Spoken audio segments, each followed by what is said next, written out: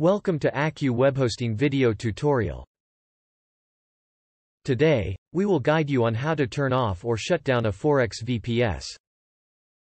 Before we begin, take a look at accuwebhosting.com to review various hosting services offered by us.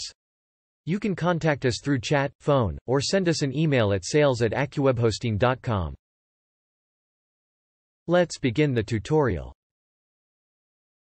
Here, we assume that you are logged in into your Forex VPS.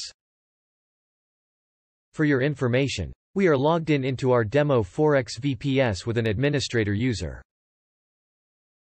We have used Windows Server 2012 R2 OS as an example. Go to the taskbar and click on the Windows Start button.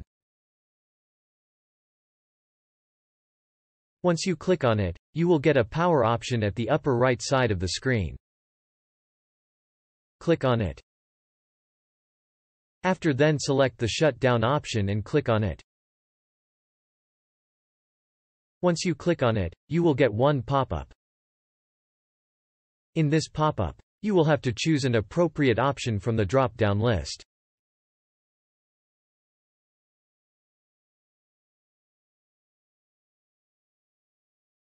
This will help you to figure out why you have shut down your Forex VPS.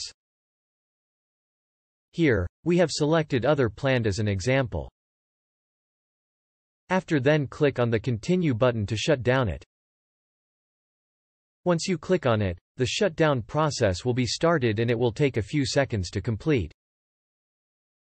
That's all. Let's quickly sum up the context of this video. We saw how to turn off or shut down a Forex VPS. Hope this video will be helpful for you. If you like this video, please click on the thumb button. Please click on the subscribe button if you want to view such easy to understand technical videos published by AccuWebHosting.com.